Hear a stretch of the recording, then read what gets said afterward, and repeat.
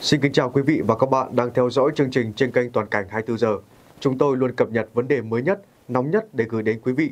Sau đây là phần tin chi tiết. Ngày 23 tháng 5, Tòa án Nhân dân thành phố Hà Nội mở phiên tòa xét xử bị cáo Duy Đức Tuấn về tội cưỡng đoạt tài sản.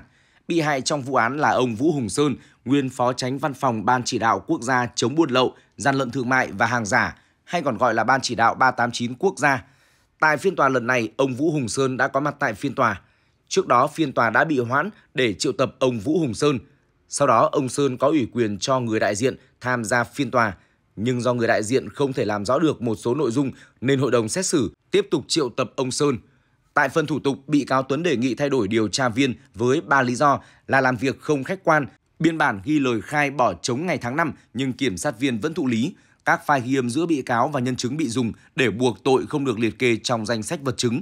Bị cáo Tuấn nói, cơ quan điều tra và viện kiểm sát cố tình loại bỏ, không làm rõ nội dung đơn tố cáo của bị cáo. Nếu ý kiến, kiểm sát viên cho rằng các lý do của bị cáo không chính đáng, đại diện viện kiểm sát nói nếu đơn từ của bị cáo không có trong hồ sơ thì luật sư của bị cáo lấy đâu ra mà sao chụp? Cái này luật sư có thể trả lời. Các đơn tố giác của bị cáo đã được PC01 giải quyết. Viện Kiểm sát cũng đã nhận đơn và chuyển PC01 giải quyết đúng trình tự. Riêng nội dung thu thập chứng cứ không thuộc trường hợp phải thay đổi kiểm sát viên theo Điều 49 Bộ Luật Tố Tụng Hình sự.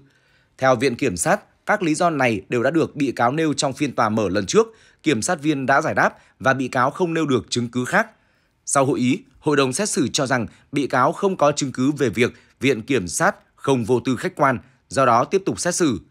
Theo hồ sơ vụ án, năm 2009, bị cáo Duy Đức Tuấn nhờ ông Vũ Hùng Sơn, giám đốc công ty trách nhiệm hữu hạn Bảo Tín Sơn Tùng, giúp thủ tục nhập khẩu chiếc xe Mercedes-Benz.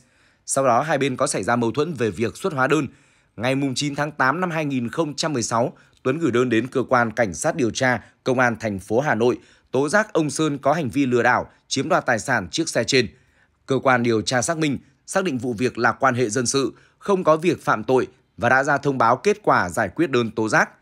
Năm 2020, Tuấn biết ông Sơn giữ chức vụ Phó Tránh Văn phòng Ban Chỉ đạo Quốc gia chống buôn lậu, gian lận thương mại và hàng giả, hay còn gọi là Ban Chỉ đạo 389 Quốc gia, nên tiếp tục gửi đơn đến cơ quan chức năng như Bộ Công an, Bộ Công Thương, Tổng cục chống buôn lậu, Công an thành phố Hà Nội và nhiều cơ quan báo chí tố giác ông Sơn có hành vi làm giả tài liệu để nhập lậu xe ô tô của công ty Thái Bình Dương.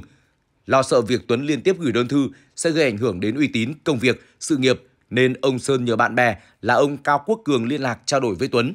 Trong nội dung các cuộc trao đổi, Tuấn đã đe dọa ông Sơn về việc tiếp tục gửi đơn tố giác khiến ông Sơn mất nghiệp, bị khởi tố để qua đó uy hiếp, yêu cầu ông Sơn phải đưa cho bị cáo 10 tỷ đồng mới rút đơn.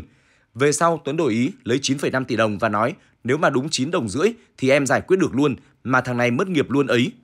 Ngày 9 tháng 10 năm 2020, ông Sơn gửi đơn trình báo đến cơ quan cảnh sát điều tra Công an thành phố Hà Nội tố giác hành vi cưỡng đoạt tài sản của Duy Đức Tuấn.